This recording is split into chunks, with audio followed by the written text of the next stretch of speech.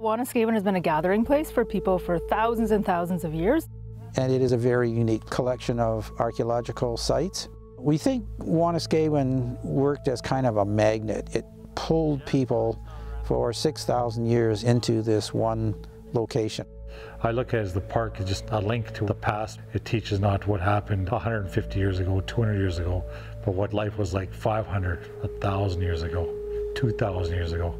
When you're up here having a meal, afterwards when you're gathered around the fire, you can almost feel all those years and years of community and sharing. Each dinner is different depending on what's in season or has been in season in the preceding weeks.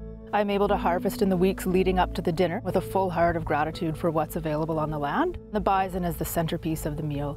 It's just absolutely transformational being with a different group of people every time and seeing their reaction to the experience. When the rest of the country finally hears what really happened out at Wanuskewin Heritage Park, it'll be a great Canadian story.